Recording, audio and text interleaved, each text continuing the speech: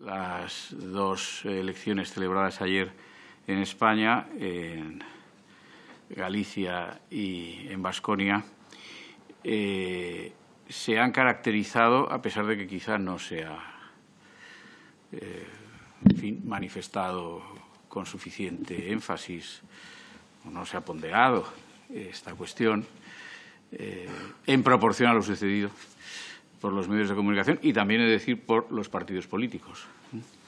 Se han celebrado en una situación absolutamente insólita en eh, la Unión Europea y en cualquier nación del mundo libre.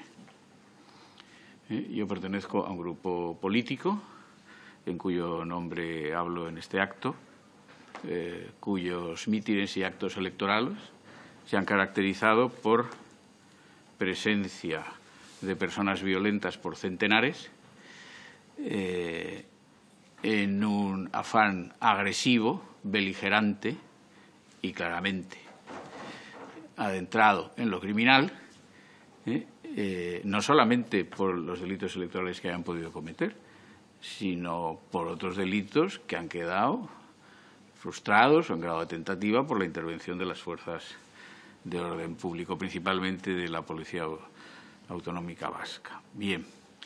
Eh, digo, esos actos electorales se han caracterizado por la presencia de esos grupos muy numerosos. Eh, creo, por lo que he podido ver, porque he participado prácticamente en todos ellos, incluso de muchos menores de edad, por lo que he podido ver.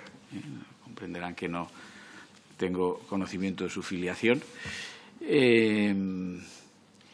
y, por lo tanto, esto no, no es aceptable en unas condiciones ordinarias electorales de, como digo, de una nación mm, que es Estado miembro de la Unión Europea y en cualquier nación del mundo libre.